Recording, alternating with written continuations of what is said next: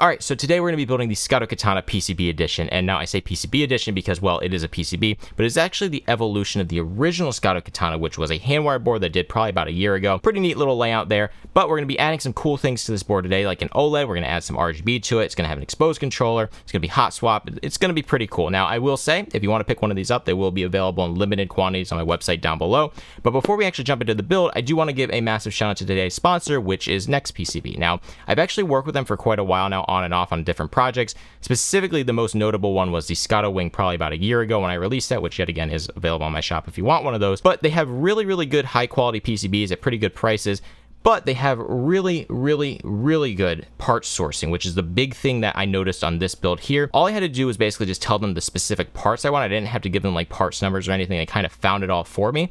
But what they did is they found that they actually built a copy of the PCB and then sent me an image of that physical PCB. So this made it really easy to kind of make sure that everything was right before it got manufactured. But then they do also have some other tools that make PCBs really easy to manufacture where they have their DFM analysis tool. Basically, you can kind of get another layer of error checking on top of what you use in like your PCB design program. And another one that doesn't seem very big, but it kind of is, is that they actually offer matte black solder paste. Now, most places don't offer that, so it's really nice they do have that. But with that, their PCBs are really high quality. They have good prices. I'll link them down below. I recommend recommend checking them out. But with that, we're to jump in and get started. So this here is the ScottoKatana PCB edition, specifically the case and the PCB here. What I'm to do actually is just grab our PCB out of here. I'll put this off. We'll talk about this once we like assemble it later. But this is the PCB that I got from NextPCB, and you can see that matte black here. Um, here's a Scotto wing with the non-matte black, which also looks really good. It's just kind of glossy, but I think the matte black, it, it matches the case really nicely, so I think it just works really well on this, so that's why I like the matte black.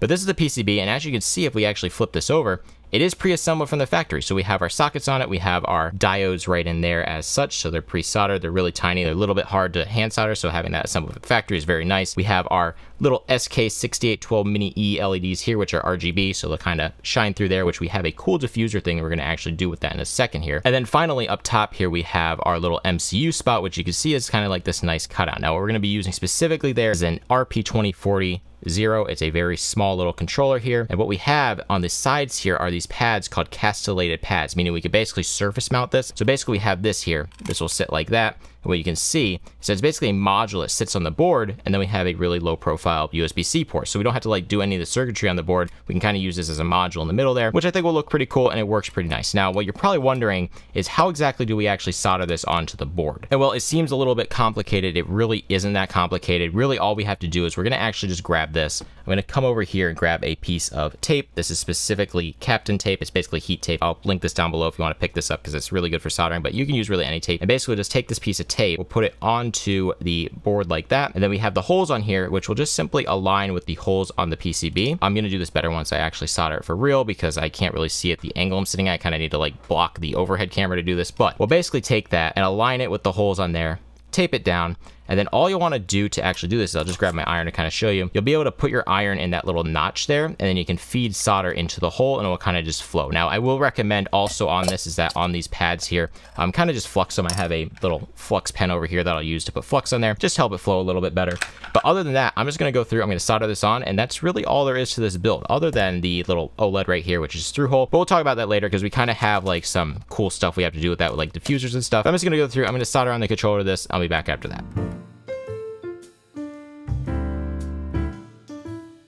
There's the controller mounted on there. As you can see, everything is soldered nicely. We do have a lot of flux here, which I am going to clean off in just a moment here. Basically, all you use that is some really high proof alcohol. So this is some 99% IPA. But what I want to mention before that, I'm just going to take this. I'm going to put a little bit of solder on the tip here just to get it kind of like that. And what I recommend is that you actually kind of reflow these a little bit after doing them. So you kind of see how you just come in there and just kind of re-wet it up and pull it off. The reason I recommend doing that is that it actually helps the pad connect a little bit better because you can't really see underneath it. So by doing that, it really kind of ensures it gets a good connection. But I'm going to go through now. I'm going to come in with a Q-tip with some isopropyl. and Then after we'll talk about the OLED section.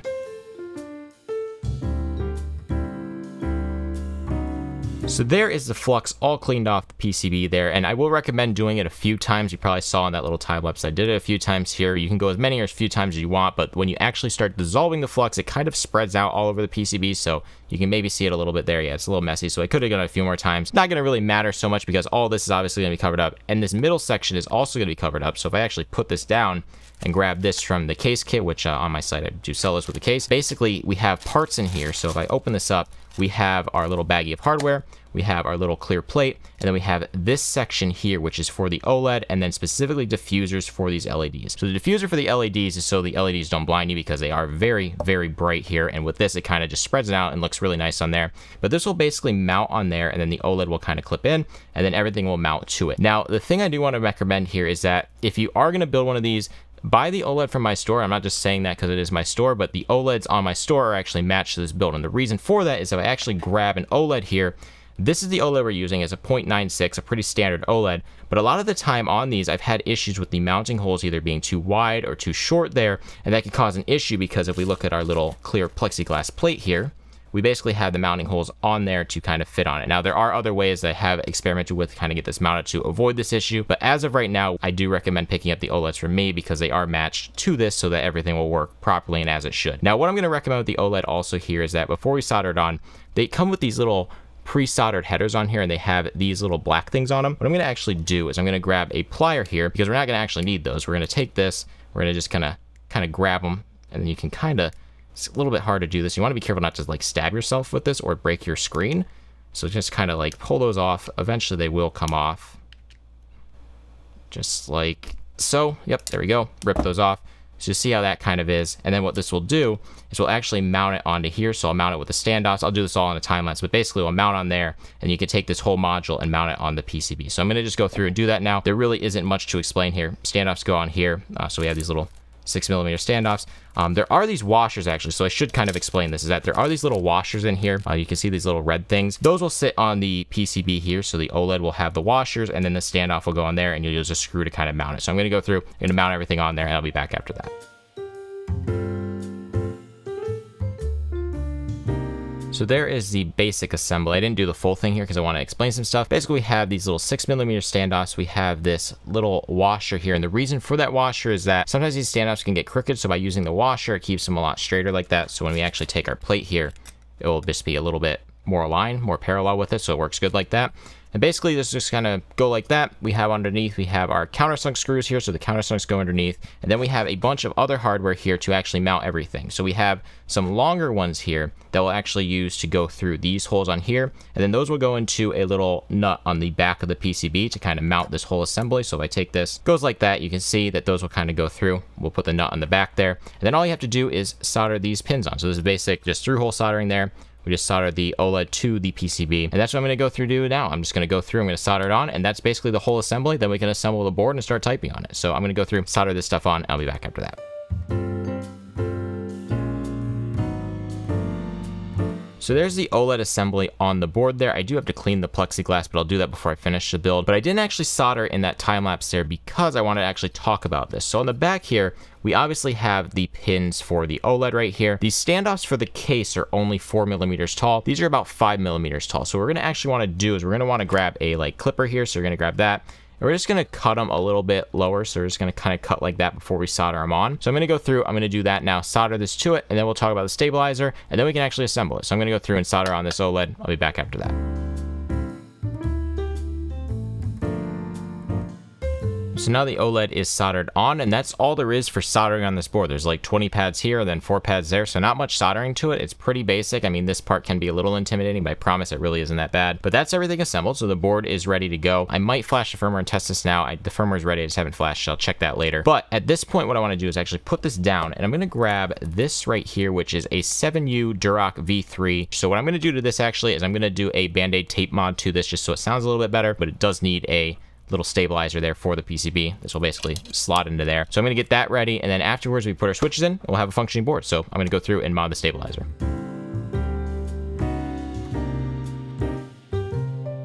So there's the stabilizer on the PCB there. The tolerance between this is very, very close. I might actually mess with the design file for this to kind of pull it up a little bit there. But at this point, what we have to actually do is something very specific to like my PCB builds and how I do them. But this is very important you do it in this order is that we're going to actually take the PCB here. We have five little holes on each half, which are specifically for the standoffs. They're four millimeter standoffs. So the case here will come with the little hardware bag here. And basically there's going to be a longer and a shorter screw in there. Basically the countersunk one actually goes underneath. So the countersunk screw will go on the bottom of the PCB or the case here. And then the non-countersunk, so the pan head. So like, uh, let me see if I can find one right there. Um, one of those that will actually go to the PCB. So we're going to do, so we're going to actually go through and mount all the standoffs on all these holes here. So you can see there's five on each half. We'll do that first, and then we can talk about the switches and actually assembling the board. So I'm just going to time lapse through putting the standoffs on here.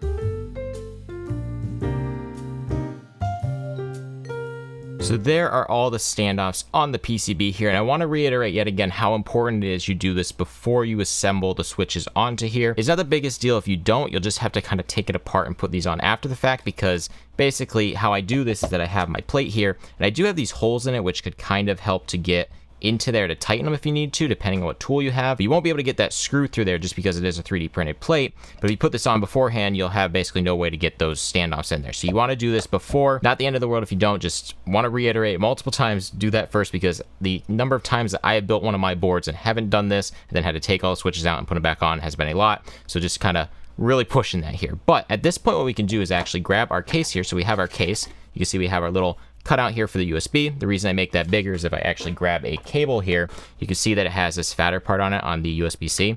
Uh, that just makes sure that you can basically fit any USB-C in there. But what we have is we have our PCB. This will just kind of slot in there like so. You'll see it perfectly aligns with the USB-C port. We'll be able to screw everything in there. But first, of course, is actually assembling the PCB. So we're going to take this, or well, not assembling the PCB, but putting the switches on the PCB. We're going to take our PCB, put it here. We're going to grab our plate, and I like to do the texture side up. Um, you could technically do it either way with this board because it is symmetrical, but you can see this will go like that. Our little things here will go perfectly through. What we're going to do is put our switches on. What I'm going to use here are these Akko POM Silver. I think that's what they are. They have like a really short actuation. They're really nice for gaming, actually. Maybe not so much for typing. They kind of bottom out hard. But also there is something specific to this build. Well, not this build like in particular if you're building your own, but my version of this board, because of the keycaps I'm using, which we'll talk about shortly, is that this one is marked. So my center switch or my spacebar switch is marked because this actually has a box navy. So if I actually there's a box navy switch here. I took the spring from that and put it in here because we need that for our spacebar in particular, which you probably saw in the thumbnail, um, the reason for that. But we're to be putting that in the middle, so we'll put that there. I'm to go through and pop all these switches in, and then I'll be back after. We can talk about the keycaps because the keycaps are to kind of tie this entire build together. It's to look really cool, so I'm to pop the switches in. So there the switch is in the board, and I did actually pop this off also off camera and cleaned it, so it looked nice, and I did take the little protective cover off the OLED, so that's all ready to go there. I did also flash the firmware upstairs and test that everything works on there, which we'll see in a moment what it does. But now what I'm going to do is actually put this down. We're going to talk about what's going to tie this entire build together now. So over here, what I have actually are these here, which you can see full metal keycap set. Awekeys did reach out and send these to me, so I did get these for free. I will say right up front that they are very pricey because they are 18 karat gold plated. Um, yeah, uh, you can kind of see there. They look really, really cool. And this is why you see earlier, or why I talked about earlier, why I put that heavier spacebar in, because if we actually grab it over in here, we have this 18 karat gold, kind of fingerprinty, but very nice looking metal spacebar here that was too heavy for these switches by default. So I put the heavier spring in there and it kind of does its thing. So if I actually pop this on here really quick, yeah, I, I don't know if you can really hear that it does uh, sound very, very dense. I might do some more stuff to make the sound even denser, but I'm going to go through and I'm going to just pop the keycaps on. I'm going to assemble it into the case, and then that's the entire build really. So I'm going to go through and pop the keycaps on.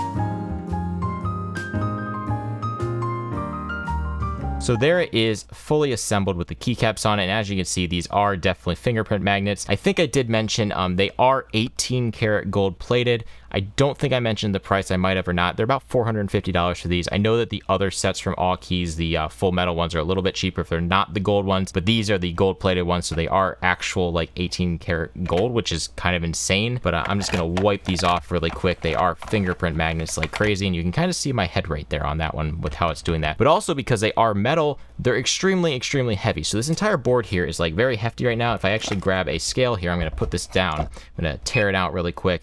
We're going to put that on there.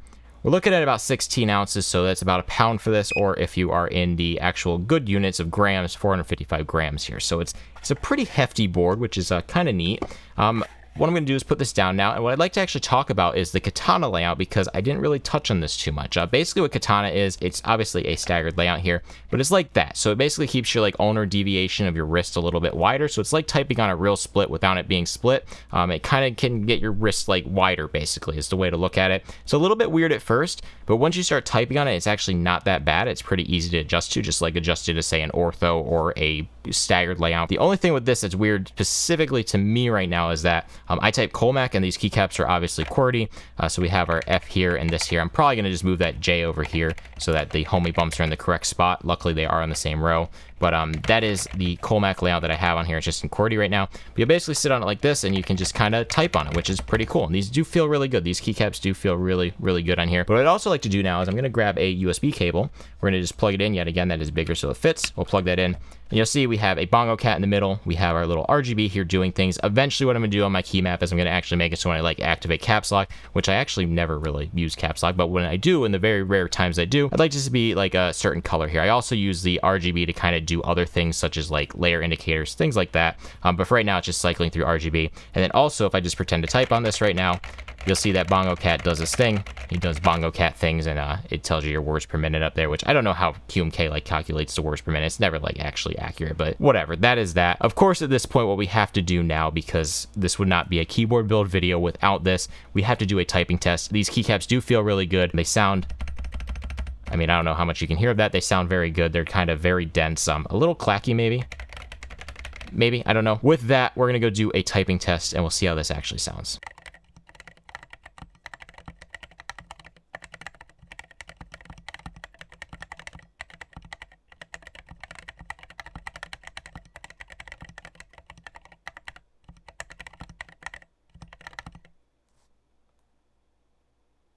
So yeah, I think it sounds pretty good. It looks really, really good here, as you can see, like with that there. I mean, look at the, the gold keycaps. The weight of it feels really nice. I'm really proud of this board. I think it's my best PCB yet, honestly. And I do have to give another big shout out to NextPCB for sponsoring this. I do have a bunch more projects coming out from them soon. Um, well, not from them, made by them, designed by me. Um, collaboration, you know, partnership there.